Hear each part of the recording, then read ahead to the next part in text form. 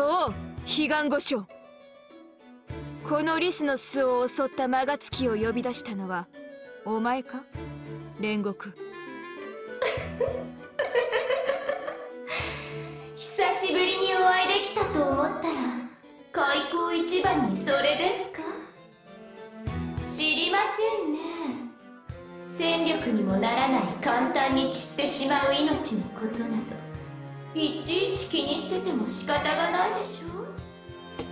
自分が逃げるために部下を何の気兼ねもなく使う貴様ならそんな風に言うだろうと思っていたよ。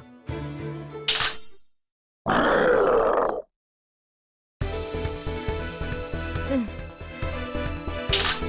こう敵の数が多いと隊長君は自分の身を守る必要が出てくるはず意識が私たちからそれてしまった。その時は。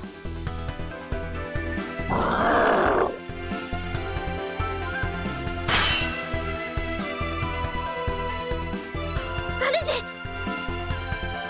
大丈夫だ上泉。隊長君へ御霊は私が送る。君は引き続き前方の敵に集中。桑名号は囲まれてる千金丸と千代金丸の救出に向かってくれ。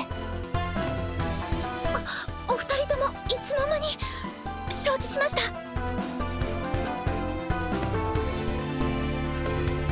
一心同体は成功。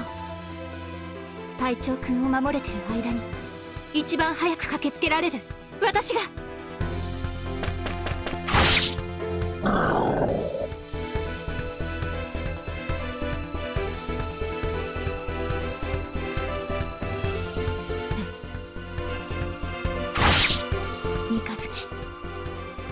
さすがと言うべきか。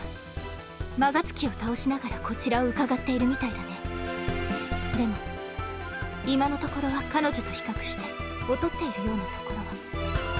厄介な種を見つけた時は芽が出る前に潰す楽しさを得られてゾクゾクしますね。建物の裏に